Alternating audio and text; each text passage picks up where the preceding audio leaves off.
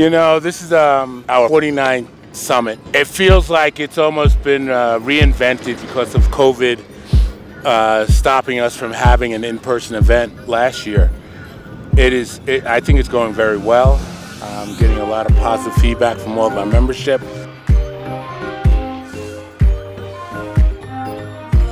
Jim Dandy in the house. No golfers in the house.